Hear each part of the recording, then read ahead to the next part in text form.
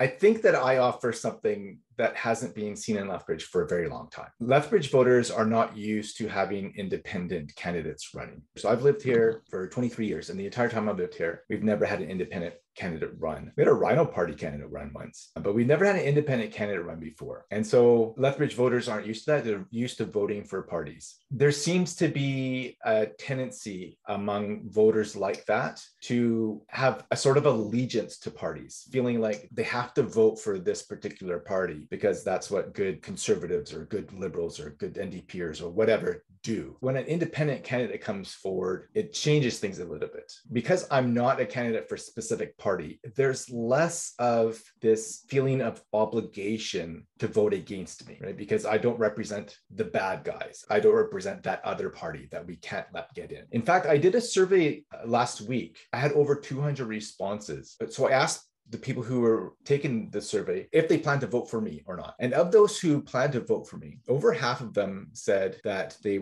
had voted for the NDP in the previous federal election. Around 25% said they had voted Liberal in the last federal election. About 5% said they voted Green, and 7% said they had voted Conservative in the 2019 federal election. That's one in 14 people who filled out the survey said that they had voted conservative in the last federal election.